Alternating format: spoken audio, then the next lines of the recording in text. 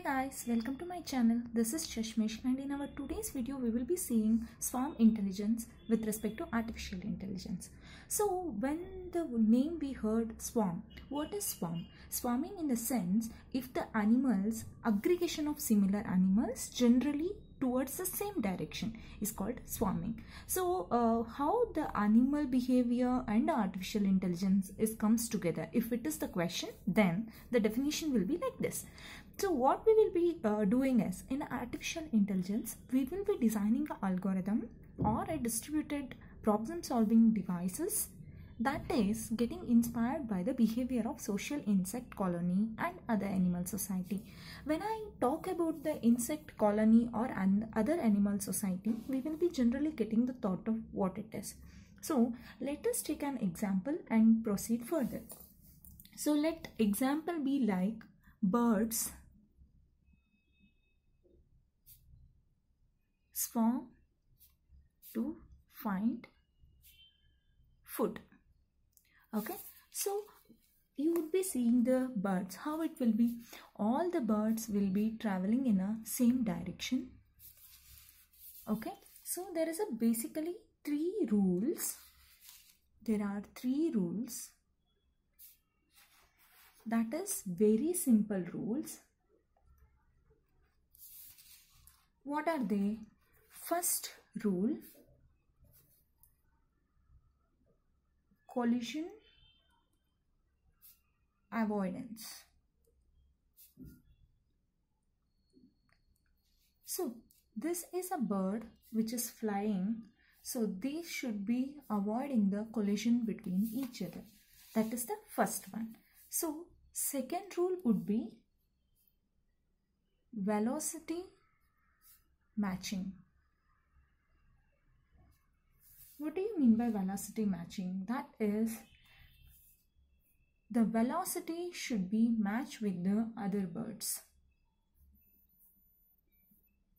And third will be flock centering.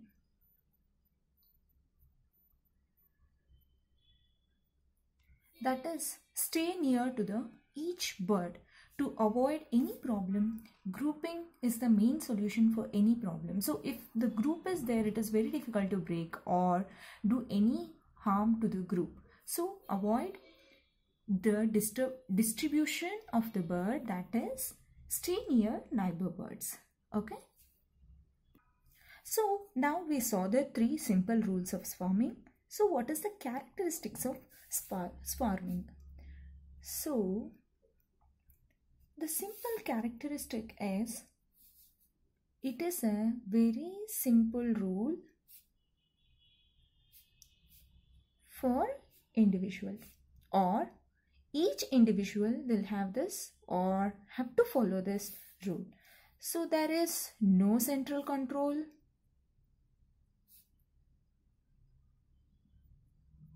There is no one in the whole thing that is controlling each other. It is equally, the rule is equally made for each individual.